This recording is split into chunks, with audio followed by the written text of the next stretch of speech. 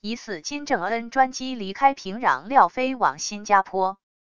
北韩领导人金正恩与美国总统川普的高峰会谈即将在新加坡登场，而金正恩五月访问中国时所搭乘的一流深七十六型运输机，今天已自平壤起飞，中停中国南部城市广州，料将转往新国。新加坡政府声明指出。总理李显龙今天稍晚将与金正恩会晤。消息人士本周稍早告诉路透社，金正恩今天将飞抵新加坡樟宜机场。